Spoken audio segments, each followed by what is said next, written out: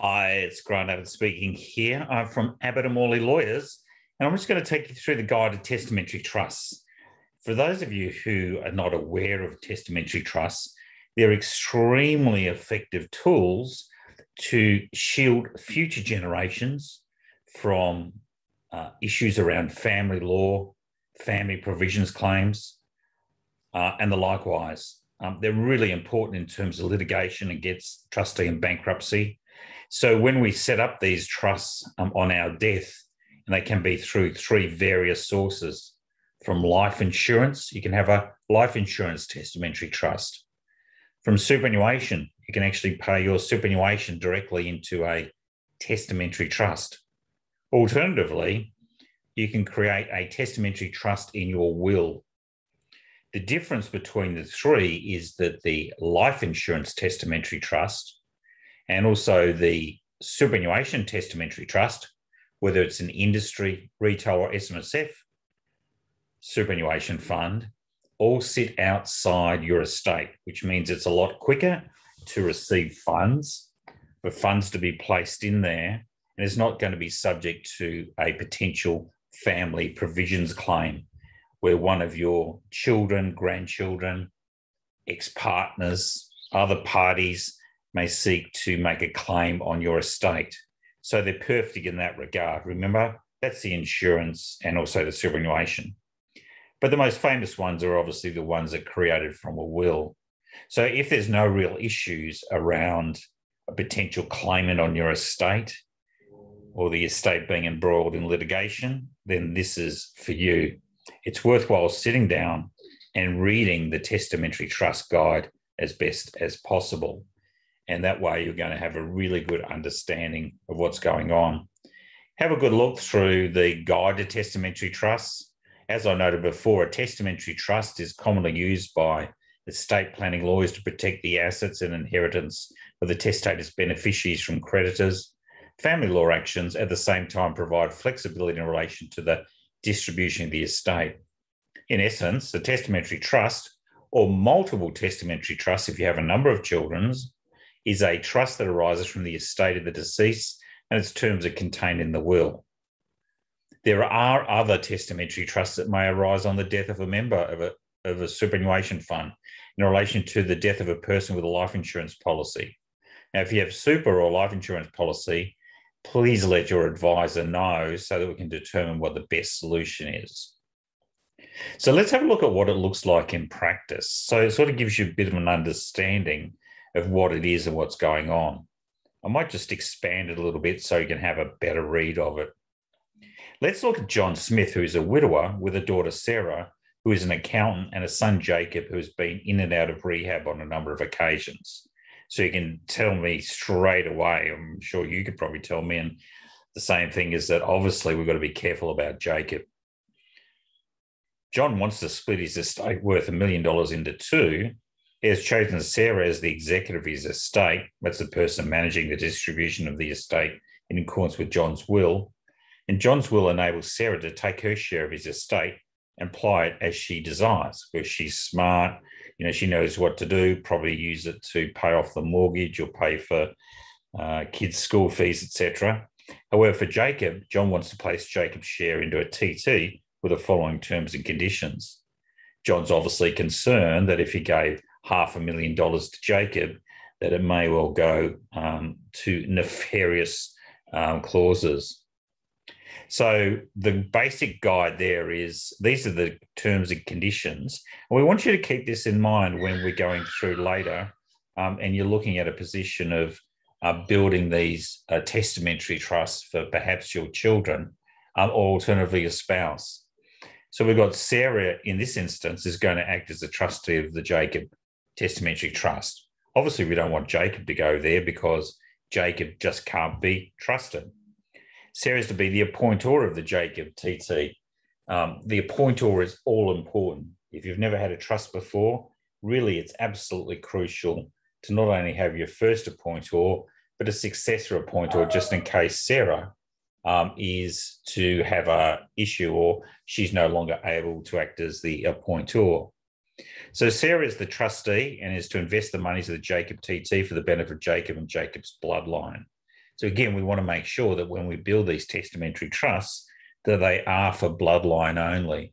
They're not to be dissipated later on outside the bloodline.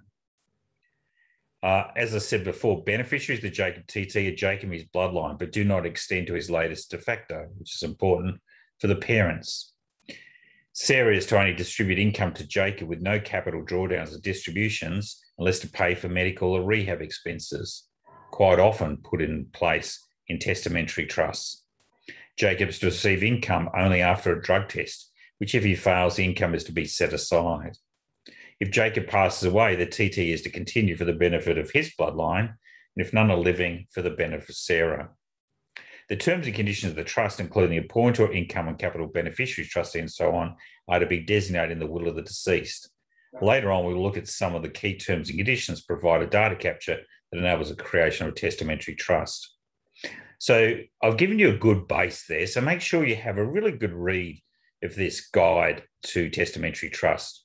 We've got the benefits, the disadvantages, um, questions and answers, such as does the TT start as I complete my will? Who should be the appointor? You know, does this override earlier wills I've done? What if I've got a young family? How many trustees can I have? Superannuation insurances. So all the answers are there. So have a read of that. Have a look at that case study we talked about, and then start to apply it for your own data capture. And data capture is just simply an interview form that will go through that process for us. So have a read of this. And what I want you to do is simply put in your name, your age, and your address, and then all the people who may be related to you. For example, your spouse. Um, so it might be Mary, spouse, address. If it's the same address, just say same address. Then your children, and then also your grandchildren as well. That'd be fantastic. And then who's to be your executor? Now, the person who's going to be your executor um, is effectively the person who's going to manage your estate in the event of death. Now, if there's a challenge to the will, they need to be a very strong person. Of course, your advisor and your lawyers will be there to help them, but you want to make sure that they're not going to be subject to really vexatious or troublesome claims. They need to be able to stand up. So, who is the name of the executor? Is it one of your children? Is it your spouse? Is it a friend? Is it an accountant? Is it a lawyer? Now, put their name down there, just in this little area here. And likewise, in the event that none of your executors, and you can have more than one if you want, are able to fulfill their duties because of sickness, incapacity, death, who's the next one? So again, we need to plan for the worst. Then, if there's not that successor, who's the second successor? And again, this, this follows down. And this is important when we look at testamentary trusts. Remember, the appointor is the person who's the ability to hire and fire the trustee, who's really got all the control. So we're going to make sure that we've got a line of succession of appointors, and quite generally, that may well follow the, the line of succession of executors, the people who are going to manage the estate. So here we've got a like an again an example of how to complete the interview. And you'll see there I've done Max Smith and so on and so forth. So have a look at that. And we've got terms and conditions down here as well, terms and conditions for beneficiaries. So what I want you to do there is pick out when you're going through, if there's a testamentary trust you want, put in, for example, it might be Max Smith, your son's testamentary trust, or the Smith Children Testamentary Trust. Who's the first appointed? Who's the second? And are there any terms and conditions for beneficiaries or additional terms and conditions? Now, that's one testamentary trust. There may be others that you might want to set up. You might have three or four. So, again, just complete those at that stage. So, once you've built your testamentary trust, they're essentially off and running. Now, before we get to the testamentary trust, we need to make in our will specific gifts. So, for example, you might be giving $100,000 to a person, or you might be giving a house in Collingwood to a person, or you might, for example, um, give your jewelry to a child or a grandchild. So this is where we go through specific gifts. So it's sort of the broad parameters around the trust, but we're not at that trust situation yet. we'll be calling on that a little bit later on. So, for example, in here, we might have a gift of $500,000, and that's to go into the Max Smith Testamentary Trust. Does that make sense? So, if we want a specific gift, or it could be my family farm at Condamine in New South Wales, and that's to go into June Smith Testamentary Trust. Remember, you've already put the terms and conditions of the Testamentary Trust up earlier. Now, once we've done all our gifts and we've paid all the administration expenses, funerals, etc., the next element there is what's going to happen with the remaining estate. Are you just going to give it to one person? Is it going to be split equally amongst others? And do you want it to go into the estate? So, if we have a look here, the name of the person. So, again, if we have a look at the name of the person, it could be the main beneficiary, what percentage of the estate. So, it could be, for example, Sally Smith, my spouse, 100% of my estate. Now, if she's not alive, then who's going to get the benefits? So, is it going to be her bloodline children to be held in a testamentary trust? Or if she's not alive, is it any surviving main beneficiaries? But if she's got 100%, then obviously there's no other surviving primary beneficiaries or main beneficiaries. Alternatively, we can pay it down to our secondary beneficiary. And that might be, for example, our children so then it jumps the thing, and we're going to go to secondary beneficiaries shortly, or to be paid to any bloodline beneficiary at the executor's discretion. And likewise, we do the same with the secondary beneficiary. So who are those persons? Is it going to be, you know, Joni Smith, the daughter with percentage of the estate? And if they're not alive, who is it going to be paid to? What are those ones? Now, you can also, um, although, again, remember we can challenge estates, but if we've got some reasons, the court will look at reasons that if you don't want to keep little Johnny because he's been looked after all his life, then put his name in there and then the reasons why. Put down your funeral wishes. Do you want to be cremated? Do you want to be buried? Do you want to be thrown off, you know, the wharf somewhere? Or do you want to be buried and, you know, on the, the, the top, the furthest uh, northernmost point of Australia? Just put that in there. Now, child and pet guardians.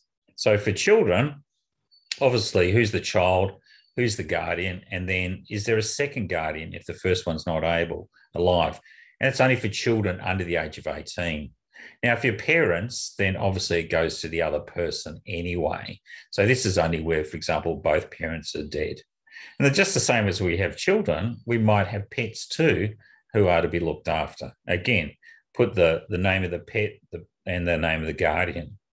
Now, if you own a property outright, not jointly, so if you own it outright and it's not jointly with your spouse, you can give this to one or more beneficiaries um, directly. Again, we could do a gift. I mean, they can go into a testamentary trust. Or alternatively, what we can do there is we can um, simply um, let a spouse or a child uh, reside in that for as long as they want to live in it. Um, so again, if you want to go down that track, then essentially you just need to um, build that process and say, this is what I want as the life tenant.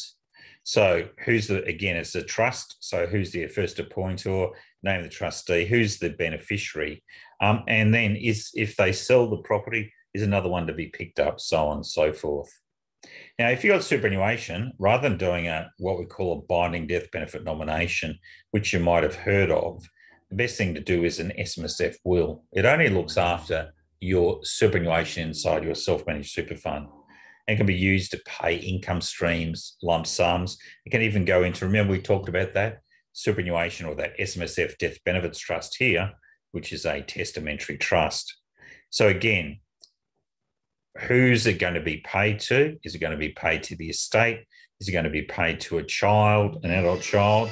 Alternatively, is it going to be paid to a, um, a spouse? And what percentage? And then income lump sum. Now, in the event that the principal beneficiary is not alive, who's the next person to go to? So on and so forth. Much the same as we did with the ordinary estate. So there we have it. That's our guide to testamentary trust put in any other terms and conditions there. Now, what you want you to do, there is no right or wrong. The main thing is just to get down the information as best as possible. Have a glass of red wine or a gin and tonic or a kombucha or a nice cup of tea or coffee, and just put down your thoughts there if you want to go through. If you don't want to use testamentary trust, that's fine. Just complete the ordinary will and we'll take it from there.